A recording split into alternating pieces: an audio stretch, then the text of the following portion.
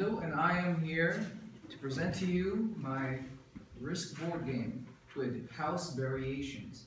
Basically, little strategic and implementive uh, actions that I added into the game, the original game, to make it more smart and complicated and very much fun. Before I go about and talk about the things I've added into the game, I want to show basics of the game. What's the whole point of Risk, you might ask? Well, you try to conquer the world. But before you can conquer the world, you have to defeat and conquer your friends and family first. Now, how do you do that? Just like in real life, you do you use armies. You use warfare, but not so easily blunt like that. You have to also be fluid with a scalpel, like, and use diplomacy as a means to keep your enemies from ruining your plans. Let's start with basics. Um, every the game begins with everyone's uh, divvying up these cards, which have the territories and stars in it. And after you divvy up your cards, you look at the stars. And the amount of stars that you have is the amount of troops, which is one troop, one, one troop per star, that you place onto the map. And that's how you randomize what territories each player gets. The order in which you play is determined by a roll of dice.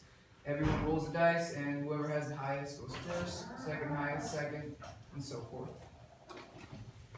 Um, the main objective is to conquer territories, and the only way a player wins is he, he controls all the globe, basically. And it takes a long time for one player to conquer the globe. You gotta wipe everybody else out, right? Yes.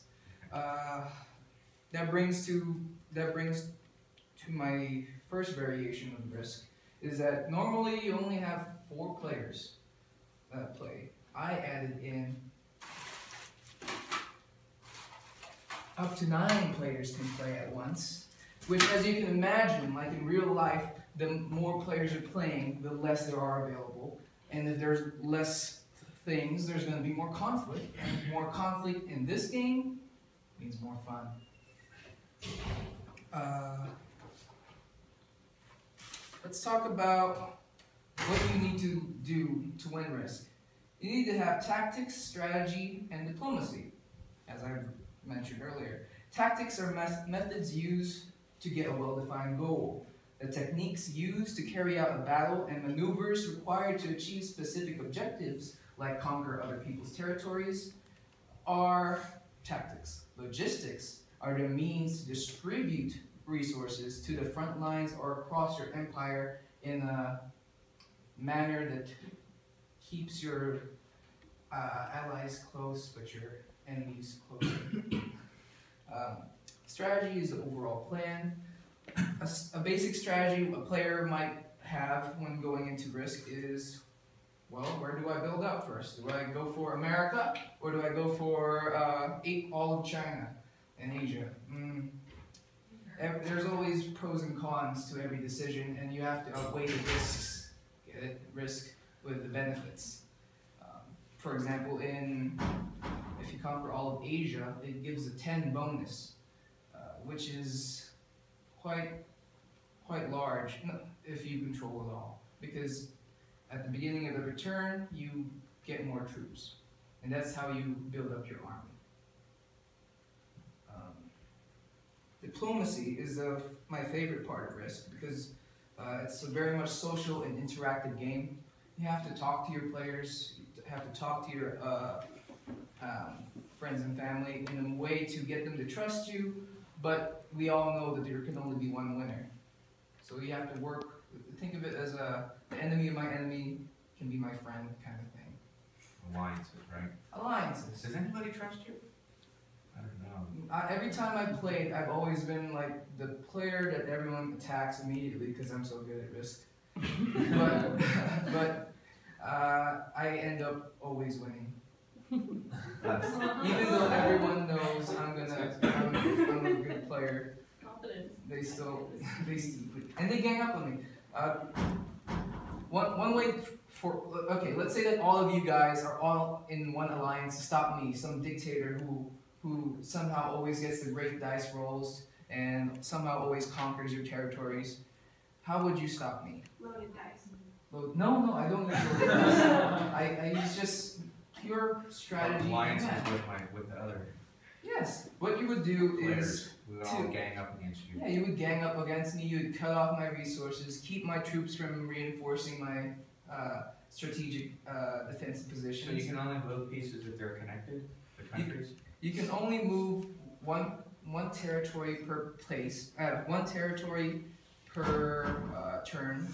So you can players can see where you're amassing your troops or where you're sending your troops to uh, go, and that can that can go against what you're saying in your, in your diplomacy. You can be like, I'm just sending my troops to your borders to secure my borders, but under the underlying truth is you're actually planning an invasion or an attack.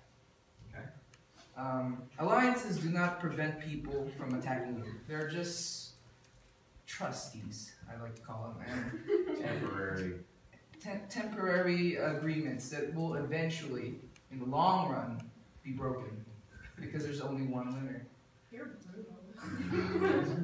Um, okay, so what else? What other mods? what other mods? Well, as you can see, there's a lot of extras I've added onto the board.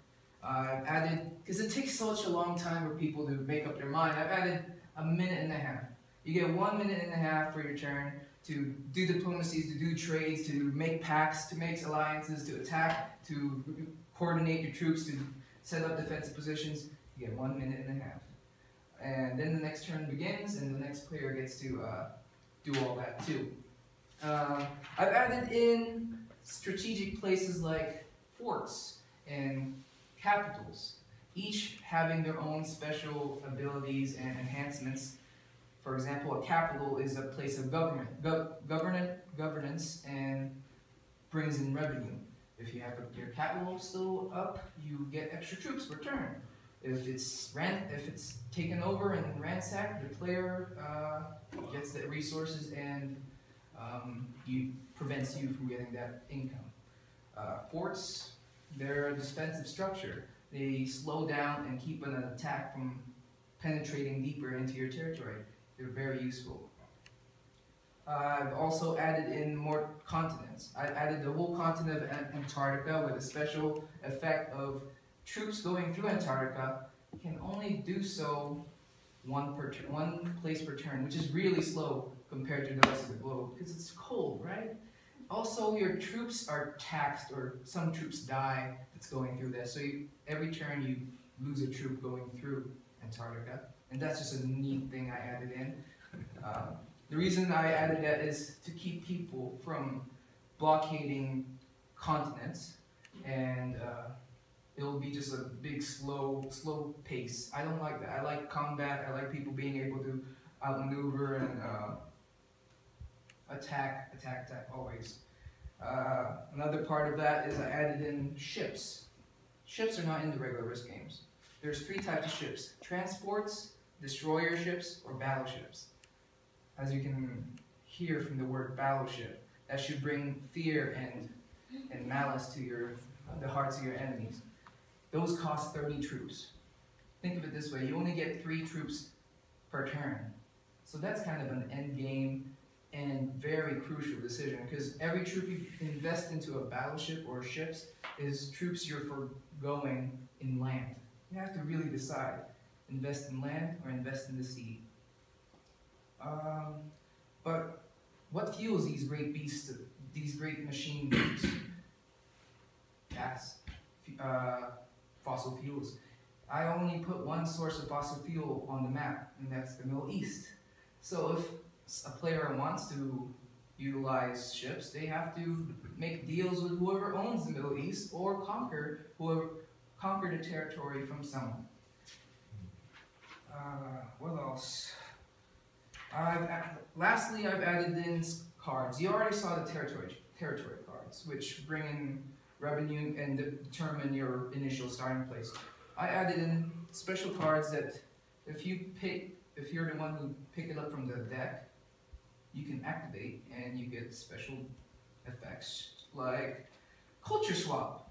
Let's say that uh, particular enemy's building an army against your border. You use your culture swap, and half of his of his armies uh, go on your side and basically mutiny. Uh, diploma- diplomatic immunity. Let's say that you're being bullied like me. People keep ganging up on me because they know I'm good. I use this and I, it prevents them from initiating an attack against me, but they can defend if I attack against them. It's very useful. You can trade these cards away for, let's say I want troops for the cards. You, you negotiate with your players. Um, I also added in quite a bit of chance. I've added in the Monopoly Man or the Mysterious Old Man, and it, it just brings up uh, a like an event, like a, a special uh, occurrence in the game where it could tip the scales of battle and tip the favors to people who are losing. The Monopoly Man comes and bestows you gifts of either wealth or famine, depending on the roll of the dice that you get. Let's say you roll good and you get sixes. You're bestowed with six times two, 12 troops, which is quite a lot. Let's you get one. Well, you're taxed. You have to give up troops. Mysterious old man. Everyone has to pay this mysterious, mysterious old man a tax, and whoever gets the card has to determine the amount. Say I want everyone to bet five, so everyone bet five troops, and then we all roll, and it's a gamble. Whoever gets the highest roll, tie is settled by re-rolls, takes the whole pot. That's cool. And why? Why did I do this? Because, well, because I played with, with my friends and we got bored with Risk, so we continued innovating it and adding on to the original game as the semester progressed. So this is the end result, and it's a development. It's a, it's, it's. I, I call it a, um, a rough draft. It's not done yet, but I think it's a great it has great potential to be the next great risk. Awesome.